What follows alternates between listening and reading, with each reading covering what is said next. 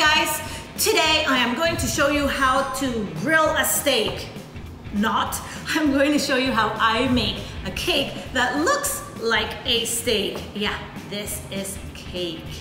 So check this out.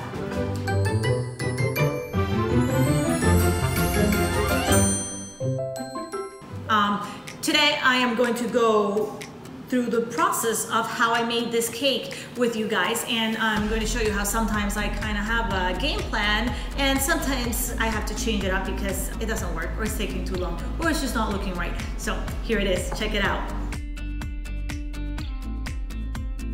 Okay, first step, we're gonna cut and carve our cake and fill it with some buttercream.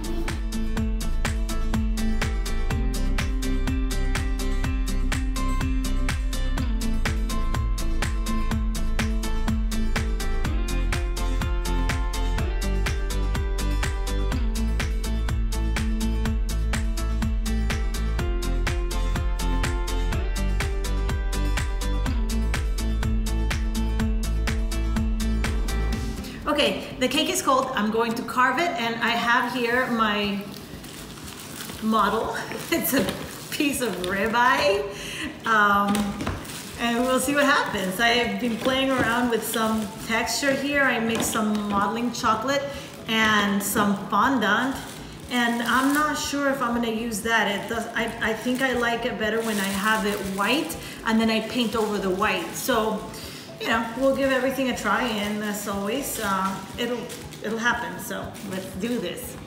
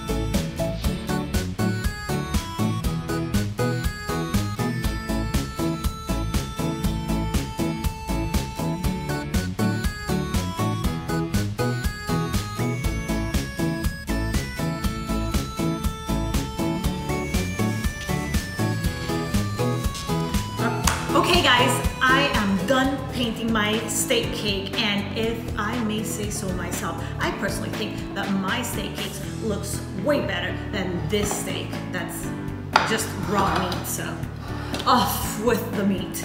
And this is it, this is it. Um, it actually took me a lot longer than I thought it would because my original plan using red fondant and white fondant did not end up working very well. So then I decided to paint it and I was at first going to paint and just leave the white little lines unpainted, which was taking me a lot a lot of time and I ended up just painting the whole thing red and pretty much scraping or kind of carving out the little fatty pieces and that's it.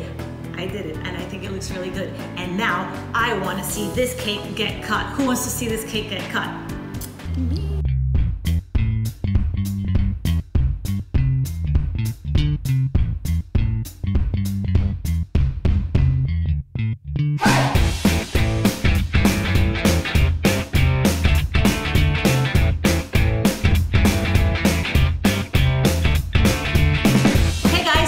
Watching. Uh, don't forget to subscribe to my channel and hit the thumbs up if you like my video. I'll see you guys next week. Bye.